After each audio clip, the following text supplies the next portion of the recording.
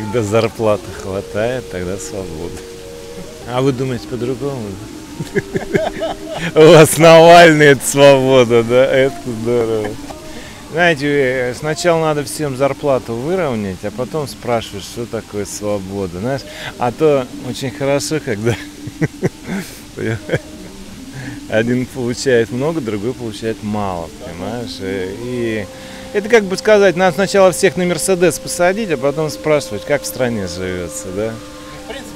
В принципе, это же везде так, ну, то, что есть такое разделение большое между...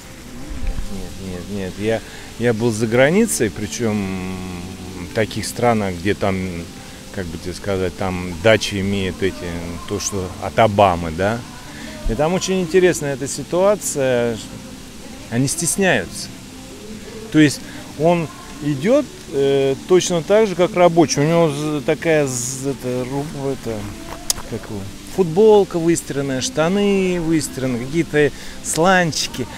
И он с рабочим сидит, там болтает, болтает. Единственное, что его отличает, что у него там нашивки Лакоста, там, там, не было, спешенно стая. А так вот в один в один даже не скажешь, где хозяин, а где этот. Он стесняется, понимаешь, это очень такая... Нет, это не в Штатах, это рядом остров у них. И они там все строят виллы, эти э, администрации. Они как бы, чтобы их никто не видел. Ну а на выборы пойдете? А, на выборы. Ну а кого выбирать? Вот, вот я, я даже все настолько глупо, я даже. Ну вы так вот, понимаешь? Ну, ну как бы сказать, да, вот это, ну я смотрел этих фото, эти, как у, ну, ну извините, это девушки вот эти красивые, все, ну, ну что-то так вот веришь, что вот она прям такая свобода, да, девушка вот такая, или вот эта Соболь, да, в очках, ну вот ее просто поставь, да, ну, это один-один проект Тимошенко. Просто на Западе поняли, что есть проект Навального, а нету второго проекта. Нужен второй проект, понимаете? Это просто люди проекты. А Навальный кто? Навальный это Ельцин, ну, подрихтовали, не пьет. Миш, это как, как он, как он, Горбачев это говорил. Ты не прав да, я не помню там как, Миша, а, Миша, ты не прав. Ельцина с моста бросали, народ его. Единственное, что не нравилось, Ельцин пил. Сейчас взяли Навального, и он не пьет. Вот, а что он сделал, что будет делать, как будет делать, вообще ничего не понятно. Соболь, вот Тимошенко возьми 20 лет назад, поставь. И со... у них даже портрет одинаковый, понимаешь? А как, подогнали? Ну, думают, ну, наверное, что-то... Вот откуда это, как у... Э, как она? Э, Тимошенко. Вообще никто не знает. Там какая-то... Она была этим... Как она там... Писала, писала, писала. Это... Ну, секретаршей была. Потом вдруг газовые контракты. Потом... И так сейчас вот это... Не знаю, ребят, свобода. Дайте мне эту безлимитную карточку, и я буду свободен, понимаешь? Ну вы счастливы в Москве, вам нравится? Нет, я по нужде приехал, денег не хватает, я по нужде, понимаешь? Вот опять факт свободы. Я бы в жизни не поехал.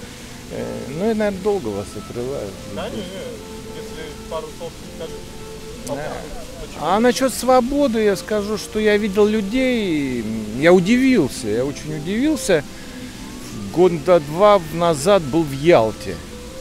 Приехал в Ялту, значит, и познакомился вот так вот с людьми на пляже э, насчет вот свободы, э, хотел сказать. Оказались простые учителя из этого, из Санкт-Петербурга.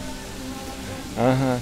Они очень четко а, свою финансовую систему отстраивают, живут а, у знакомых, никогда не пойдут ни в какой ресторан, где вот это вот пьяным просрочку сбрасывают. Они пойдут в нормальный там пут магазин, там нет магнитов, пут, купят мороженое килограмм, мясо, там все пятое сделают. Они очень четко свой бюджет ведут. В результате наши дней 10 поболтаются, потом обгорело и без денег возвращаются. Они приезжают 1 июня, уезжают 31 августа. Здоровые, загорелые. Причем денег вообще не потратили.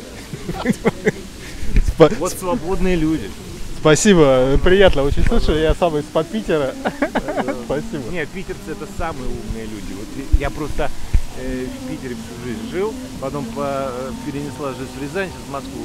Питер, Питер forever. Согласен, спасибо. Как я свободу представляю?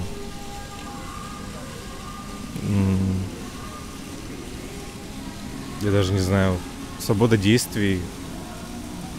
Ты делаешь то, что хочешь. Тебя ничего не ограничивает. Без каких-то рамок. Ну, то есть, получается, то, то, как вы живете, у вас вполне устраивает. Все, все достаточно свободно. Ну, в принципе, да. Извините, а у вас сигареты не продаются? А можно вам вопросик еще задать? А что вы думаете по поводу свободы? Какое представление у вас есть? Хороший вопрос. Свобода – это независимость от всего. От любых обстоятельств. Ну, это должно учитываться интересы других. Ну, сейчас каждый учитывает интересы свои. Такой свобода для нас? Свобода? Ну, ракета?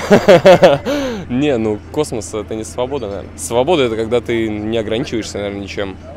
Ну, именно в смысле в своей голове. Наверное, вот так свобода. Но это должно сочетаться ну, как бы, с другими, с интересами других, Других людей? конечно. Ну, Свобода заканчивается там, где начинаются интересы другого человека. стопудово. Все, счастливо, ребят. Вот она, свобода! Мы свободны, мы ж на пенсии. А, Вот.